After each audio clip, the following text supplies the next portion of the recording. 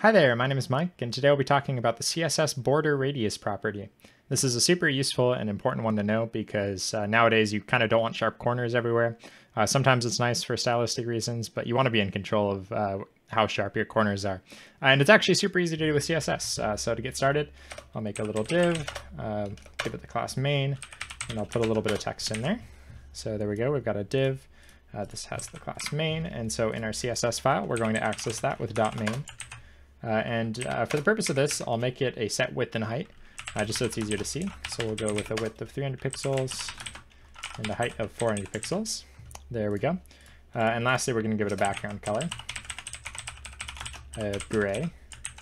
Uh, and that's because when you do this border radius property, it only affects really the background. and so like th this text will actually get cut off. so we'll do border radius, and then we'll give it a value. Uh, if you just given one value, this will apply to every corner.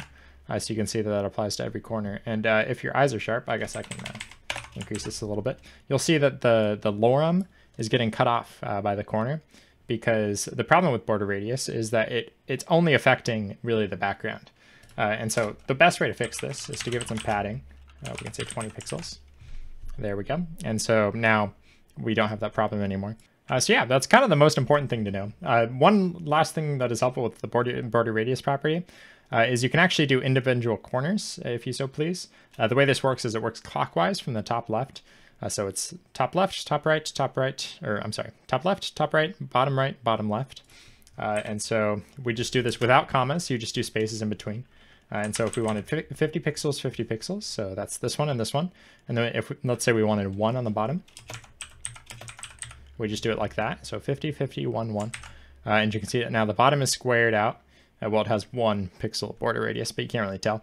Uh, and then the top has 50 pixels of border radius. Uh, so now you can kind of imagine if you wanted the top to only have 5 and the bottom to have 100 or something.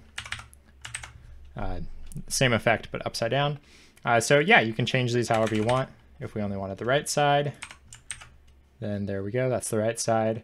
Uh, just remember clockwise. That's the best way to remember this. Uh, top left, top right, bottom right, bottom left. That's kind of a mouthful. Uh, but yeah, now you know everything you need to know for the border radius property, and you can confidently square off your corners, uh, or round off your corners. Uh, if you found this video helpful, please do leave some likes or comments or subscribes uh, down below, and just have a great day. Thanks for watching.